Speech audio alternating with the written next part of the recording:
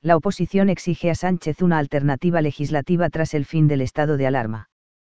Señor Sánchez, a lo que no se sube aquí es a mentir y a engañar.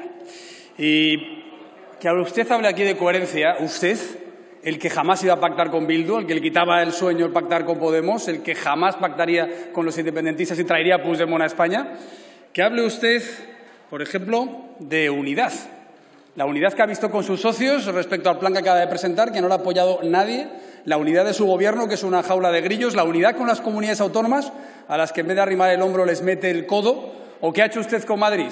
Decretar un estado de alarma a la carta. Y con Galicia, llevarle al Tribunal Supremo. Y con Castilla y León, lo mismo. Y con Murcia, limitar las restricciones que tenía o las ayudas al turismo. Y con Andalucía, hasta confiscar el material que había comprado. Y con Ceuta, dejarle al albur de la política migratoria, porque ni siquiera se ha molestado después de Angola y Senegal a ir a ver a Marruecos. Habla usted, habla usted de división el que viene a reabrir la historia de España, el que viene a reabrir debates morales que hasta las históricas feministas de su partido no pueden entender, aquel que ha prohibido hasta el uso vehicular de la lengua que a todos nos une. ¿Habla usted de transparencia? ¿Ha mirado su gobierno? Con tres ministros de los ERE, con otra ministra de Isofotón y con un ministro que se va a la playa con el señor Chávez a despachar cuando ya está condenado. Transparencia, por ejemplo, con lo que está haciendo con la prensa o con la justicia. Transparencia con el caso que hace al Consejo de Estado. Por cierto, ¿por qué no dice aquí de una vez si va a apoyar una ley de pandemias, una modificación en artículo único, en el artículo 3 de la Ley 3-86 de medidas especiales en materia de salud pública, que copiando el Reglamento Internacional de Pandemias, avalado por el Tribunal Europeo de Derechos Humanos simplemente tiene que incluir en la ley orgánica que pueda haber control de los enfermos y límite de salida y entradas de zonas afectadas. ¿Por qué no lo aprueba usted, señor Sánchez? ¿O es que a lo mejor quiere seguir gobernando en la excepcionalidad constitucional, que es lo que no recomiendan en Europa y no hace ningún país? Ni siquiera la ley orgánica de alarma, la 4 81, lo permite. Lo que dice en su artículo 12 es que para periodos largos tiene usted que recurrir a la legislación ordinaria, ellos lo llaman en ese momento, en las leyes previas a la que se legislaron después en el periodo democrático, a las leyes contra enfermedades infecciosas. Mire, señor Sánchez, usted es el cuello de botella para la recuperación. Usted no está haciendo nada ni para que la vacunación vaya bien, ni para que los fondos vengan rápido. Con la vacunación, ¿se acuerda usted señor Duque? Cuando hace un año dijo que íbamos a tener una vacuna para el verano del 2020? ¿No le ha dicho nada? Y si usted dice que las vacunas se administran las comunidades autónomas y dependen de Europa, ¿usted para qué sirve? ¿Para qué le pagamos el sueldo? Eso sí, para poner pegatinas y cuando viene bien gafarlas y decir que va a haber vacunas cuando luego lo llegan. Y sobre el cuello de botella de los fondos europeos, señor Sánchez, mire, eh, usted lo que quiere, y por eso no quiere hacer una agencia independiente de la reconstrucción o de la recuperación de los fondos, usted lo que quiere es seguir dando a dedo a las ayudas como a Plus Ultra, a una aerolínea chavista radicada en un paraíso fiscal.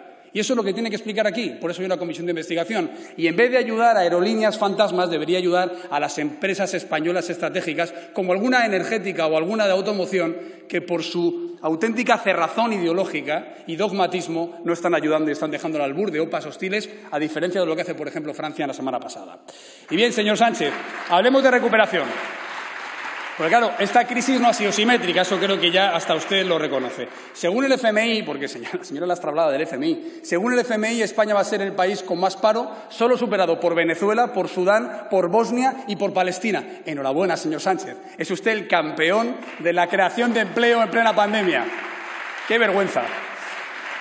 Sigamos hablando de recuperación.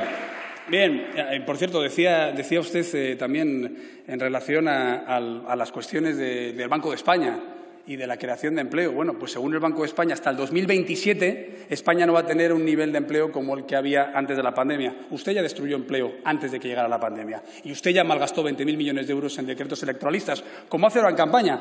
Le tengo que decir una cosa de campaña. Siga usted yendo a mítines en Madrid. Como siga apareciendo, la mayoría absoluta está asegurada. Gracias, señor Sánchez. La señora Gabilondo no sé si le va a gustar mucho sus apariciones. Bien, dice, hemos planteado reformas. ¿Las 100 reformas dónde están? Yo no las he visto. Pues bien, a lo mejor es que usted confunde reformas con sablazos, porque ha recortado un 70% de las pensiones a las madres trabajadoras, porque la página 70 de su informe ya plantea los peajes en las vías de alta capacidad en España. ¿Por qué no lo dice ahora y nos lo explica? O, por ejemplo, porque usted quiere subir o armonizar el impuesto de sucesiones que va contra las clases medias y trabajadoras que han ahorrado toda su vida para dejar la casa a sus hijos. Y reformas no son contrarreformas. No es la ley educativa que va contra el español y contra la calidad educativa, ni la reforma laboral que pacta usted con Bildu a cambio de acercar a los asesinos de nuestros compañeros Miguel Ángel Blanco, Goyo Ordóñez, Jaime Mateu y Teresa Jiménez Becerril. Tres de ellos han sido diputados. En una semana, tres asesinos acercados por obra y gracia del señor Marlasca y usted para seguir en la poltrona de Moncloa a cambio de estar con Bildu.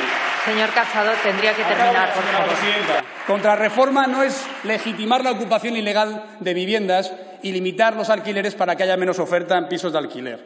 Y lo que hay que hacer son reformas de verdad. Y yo ya lo he ofrecido. Dice, no ofrece nada. Le hemos ofrecido un plan de choque también en materia económico, para bajar impuestos a los autónomos y pymes que lo pasan mal. También para dar más liquidez real, no 11.000 millones que no sirven para nada. 50.000 millones. ¿Sabe usted que España solo ha dado un 1% de ayudas públicas, mientras que la media europea está en un 4%? Sí, no cuente los ERTES. Europa no los cuenta. Ni siquiera cuenta las transferencias a autonomías. Tampoco lo cuenta Alemania. Por tanto, de ayudas directas. No esos créditos que decía, ya dijo una vez, la mayor movilización de recursos de la historia. Esto no lo ha dicho hoy. Señor lo dijo hace meses con los 200.000 millones de euros ICO que... Tiene que terminar, por favor. Eso no es un plan E verde, eso no es predicar y no dar trigo. Lo que usted tiene que hacer es ser serio y lo que usted tiene que hacer, señor Sánchez, y aquí me comprometo a hacer algo juntos, es dar tranquilidad, sobre todo a los mayores. Hagamos algo juntos. Vamos a vacunarnos y a decir que es seguro cuando nos toque. Nosotros no queremos incumplir ese inédito plan de vacunación que no existe y que nos tenemos que enterar a ver cómo improvisan. Pero demos un mensaje de tranquilidad a los mayores que lo pasan mal. Vacunarse es seguro, se deben vacunar y usted y yo podríamos dar ejemplo de ello. Muchas gracias. Gracias, señor Casado.